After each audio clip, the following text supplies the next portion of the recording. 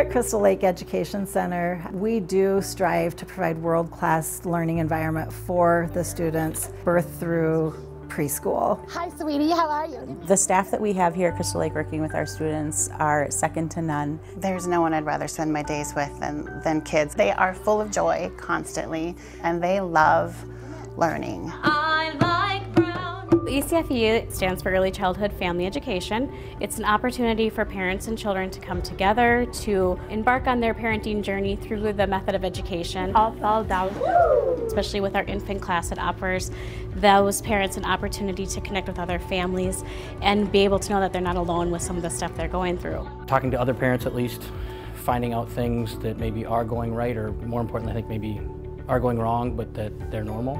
We have an, a parent education system, and in addition to that, they also have an opportunity to work on English as their second language. It would either be I like to eat my sandwich. My main mission is to help parents grow. It's a one-stop shop, from once they are in ECFE, they transition into you know, a Small Wonders class. We've got the wraparound childcare with Wonder Zone.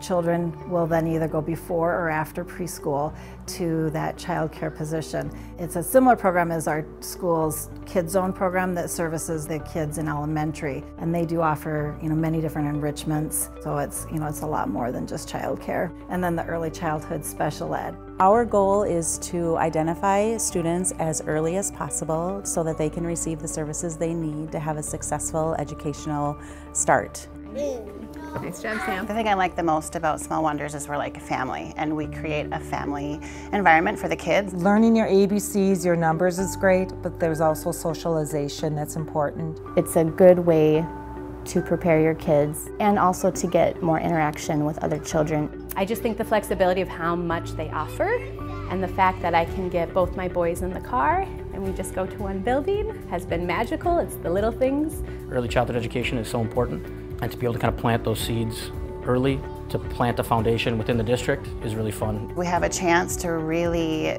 give kids their first school experience and to make sure that they are on a path to love learning for the rest of their lives and that's one of the best parts about being an early childhood educator. You did it. Nice work. Your child's journey to success starts here. Choose Lakeville.